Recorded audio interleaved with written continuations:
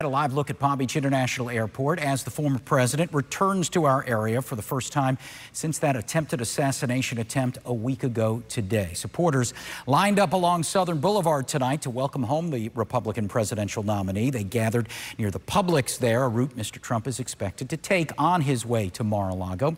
WPTV's Cassandra Garcia has been in position along Southern all night, awaiting the former president's plane and then convoy to come by. She joins us now with the latest. Cassandra.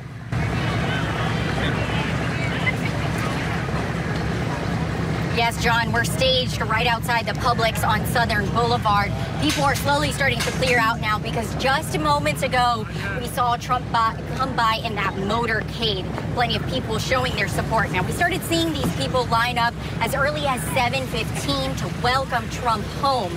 Now, lots of added security is the main thing we were seeing, and this is likely something we're going to see going forward. Trump supporters lined the streets of Southern Boulevard celebrating his return to Palm Beach Saturday evening. Among them was supporter Bobby Francis.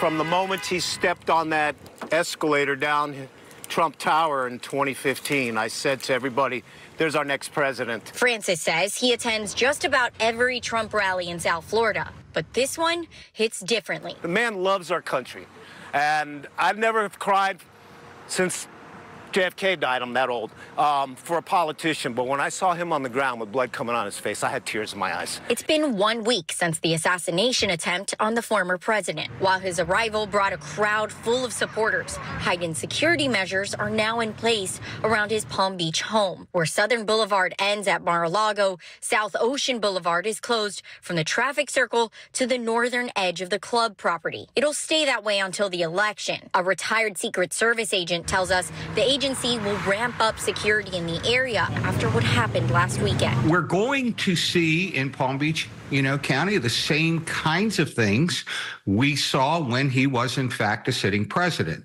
because we learned on Saturday that whatever it was we were doing did not work.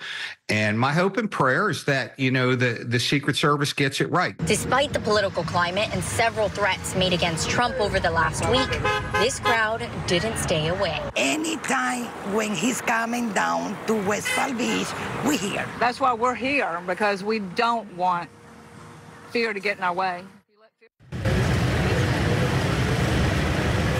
We definitely saw that sense of pride and support as Trump drove by in that motorcade. Now, his next stop on the campaign will be in Charlotte, North Carolina, another battleground state on Wednesday. In West Palm Beach, Cassandra Garcia,